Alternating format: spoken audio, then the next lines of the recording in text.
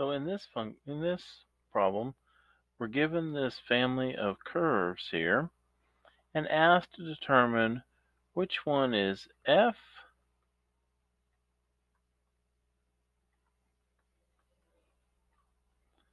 f prime, f double prime, and since there's actually four of them here, we could say f triple prime, I suspect. So let's look at it for a minute. Remember that each time we do the derivatives, what we're doing, we're graphing the slope of the previous curve. So the f prime is the slopes of the f curve. And f double prime is the slope of the f prime curve. And so on. So let's see here for a minute. If we just start out here with D for a second. So let's look at the slope of what D is. So first of all, the slope as we start up this curve is very positive and it slows down and hits zero right here. Well, that's what this green line does.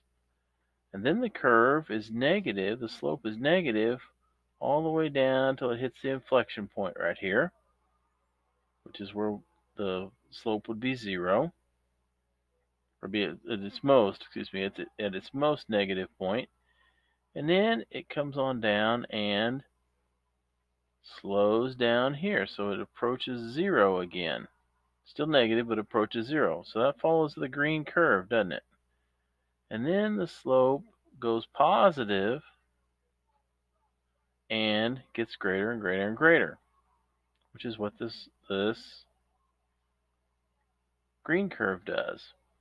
So we know that C is the derivative of D. Okay, that's cool. So let's look now for a second at C.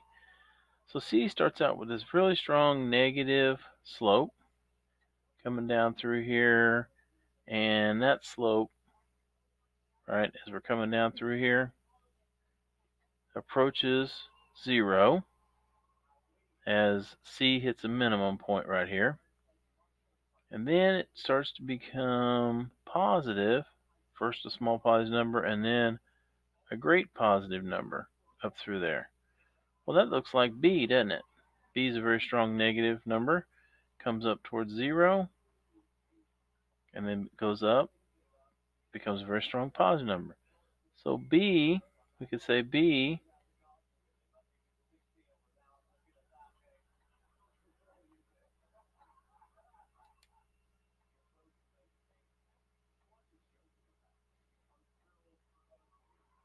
we could say B is the derivative of C, couldn't we? Okay. Now, let's look at the B curve for a minute. So B is the slope of it, right, is very strong positive, very strong positive, very strong positive. Starts to slow down, doesn't it? Till it gets zero. Then continues to increase as well but still positive all the way on up. Well, isn't that what A is? A is a, is a very positive number, positive, positive, positive, positive, positive, positive, gets, goes towards zero right here. At the same time that B is going toward this inflection point. And then coming out of the inflection point, it's still positive, starts out kind of small and goes very large.